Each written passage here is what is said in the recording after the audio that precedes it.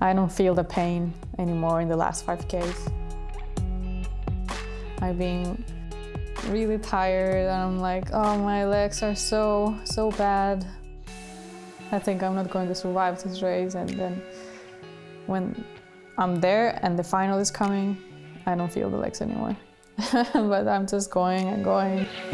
For Lotta Lepisto, finding her sprinting legs at exactly the right moment's getting easier and easier. Now aged 27, the Finn's hitting her prime and proving herself as one of the best finishers in the peloton. I think I'm as fast as I was five years ago, but uh, five years ago my, my endurance level was much lower than now. Then you have to need to have the eye, of course, read the moments, because it's really hectic and you just have to have the instinct to go in the moment and take risks sometimes, of course. Since joining the team in 2014, Lepisto's career development has been a picture of consistent improvement. And for this season, she's been rewarded with a team to help her vie for top placing more often. Lotta is with us for four years now. It's this year first time we have actually uh, a group for Lotta uh, which can support her for lead out like, like Lisa Klein, like Christina Perchtold. All those riders are, are for her available. That was not the case last year.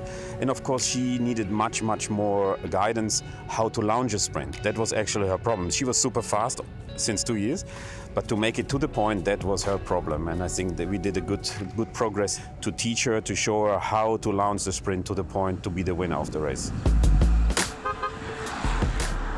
Well, I think we're a pretty good, good group of girls, and I think everybody worked hard in the winter.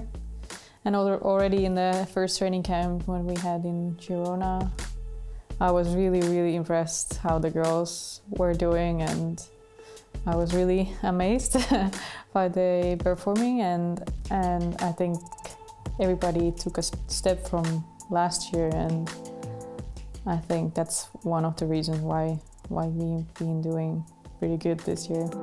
With the race know-how of Ashley Moolman-Pasio and the raw talents of UCI youth jersey holder Cecilia Ludwig, Cervelo Bigla are becoming a top force in the UCI Women's World Tour. But for the Finnish national champion, gaining a greater familiarity with her team has been just as important as this blend of youth and experience. Of course it comes from the training and because yeah, we are so many days in a year together and you're starting to know the back wheel and the bum in front of you pretty well. And and also everybody knows each other, how they are working in the in the race. Like I think you can't really do it just by yourself. You need someone who is helping you there. And at this year's Gent Wevelgem, the team proved their ability, setting up Lepisto to challenge for arguably the biggest victory of her career. It was my big target in the spring, like I was talking about it with my coach already earlier. We had four plus me in the end in the in the final 50k, so that was already impressive. Stephanie was with us until the the last Kemmelberg, and she did a super amazing job there. And afterwards, there was like Mari was attacking in the side winds and this little Marie who is a climber with climber legs and she's attacking there. Yeah, Thomas told us, told in the radio that she should do that.